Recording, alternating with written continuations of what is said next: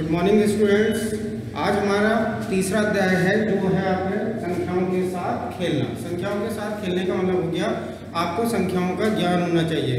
पूर्ण संख्या, पहली है आपकी पूर्ण संख्या। वे संख्याएँ जो ज़ीरो से प्रारंभ होती हैं, वह पूर्ण संख्याएँ कहलाती हैं। दूसरा हो गया प्राकृत संख्या। वे संख्याएँ जो एक से प्रारंभ होती हैं, वह प्राकृत संख्या कहलाती हैं। तो इन दो परिभाषाओं के साथ वह आपका पहला जो पहली प्रश्नावली है, वो प्रारंभ करता हूँ, जिसका नाम है आपका प्रश्नावली तीन दशमलव एक। तो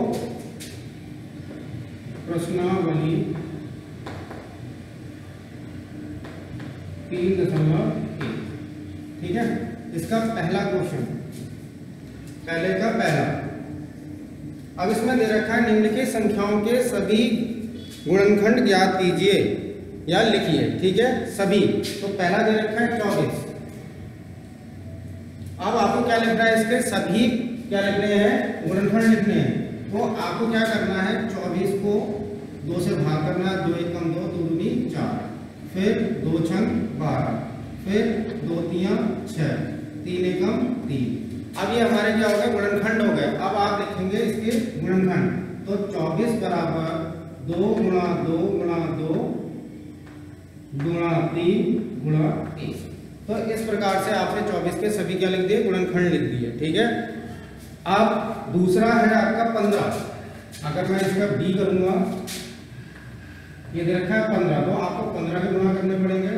तीन पंजे, पंद्रह, पाँच एकम, पाँच ठीक हो गया। आप पंद्रह के गुणा लिखने हैं तो तीन गुणा पाँच गुणा एक। तो ये सभी प्रकार के गुणा हो गए। इस प्रकार से आपको सभी क्वेश्चन कर लेने हैं कि आपको एक एक गुणनखंड लिखना है। दो गुणा दो गुणा तीन, ठीक है? गुणा एक भी लिख दिया है। लिखना ज़रूरी नहीं है, मगर लिख दिया है। उसके बाद तीन गुणा पाँच हो गया। पंद्रह का हो गया। तीन पंजे पंद्रह। मगर जब ये आप गुणनखंड करते हैं तो ये याद रखिएगा, छोटी संख्या पहले आएगी। बड़ी संख्या बाद में आएगी। सबसे पहले आपको सबसे छोटी संख्या से भाग देना है। उसके बाद उससे बड़ी, फिर बड़ी फिर बड़ी, इस टाइप से। ना कि आप पहले बड़ी से दे रहे हैं, फिर छोटी से दे रहे हैं। ये गलत हो जाएगा। सबसे बड़ा सीक्वेंस इसका यही है कि आप सबसे छोटी संख्या से स्टार्ट करेंगे। इसका दूसरा क्वेश्चन है।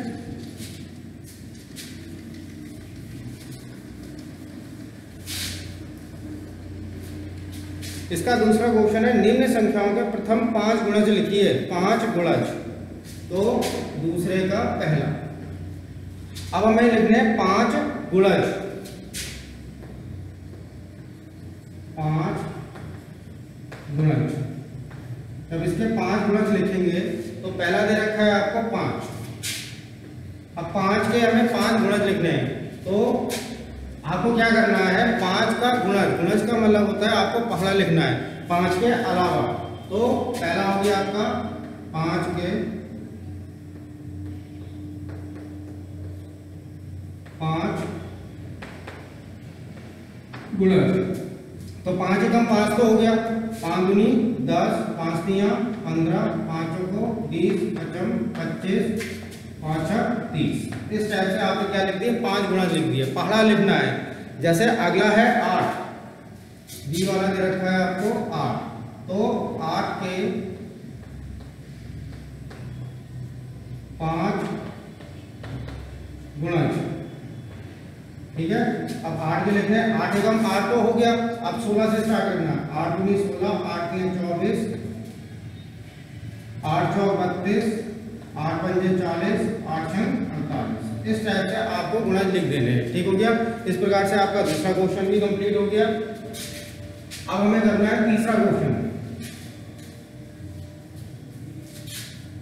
अब है हमारा तीसरा क्वेश्चन। तीसरा क्वेश्चन में दे रखा है कि स्तंभ एक की संख्याओं का स्तंभ दो के साथ मिलान कीजिए। ठीक है? स्तंभ एक में दे रखा है पैंतीस, पंद्रह, सोलह, बीस और पच्चीस।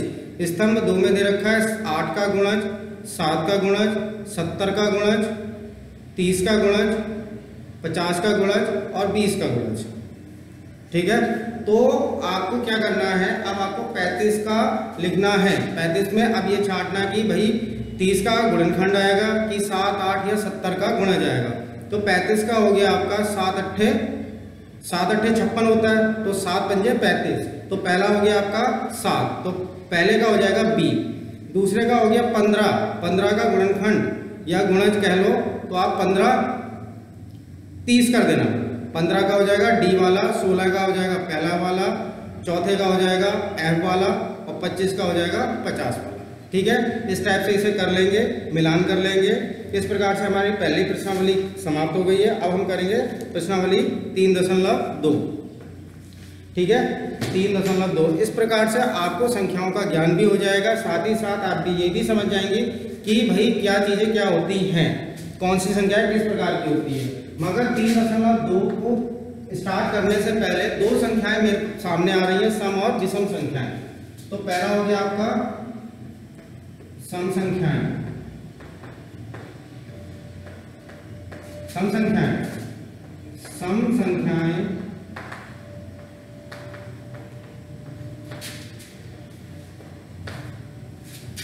वे संख्याएँ हैं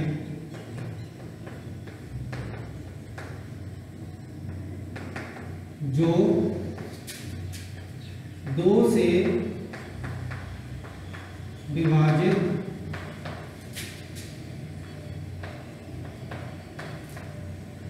हो जाती हैं ठीक है वे संख्याएँ जो दो से विभाजित हो जाती हैं, वे क्या कहलाती हैं? सम संख्याएँ ठीक है? दूसरा हो गया विषम संख्याएँ इसे उदाहरण में दे देंगे, जैसे दो, चार छ आठ, दस, बारह, चौदह, सोलह। इस टाइप से ये इसकी क्या होगा उदाहरण है इसी प्रकार से विषम संख्या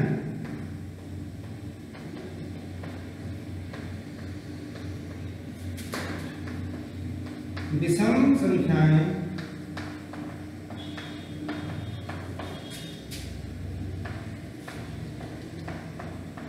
वे संख्याएँ हैं जो दो से विभाजित नहीं होती है। ठीक है? जैसे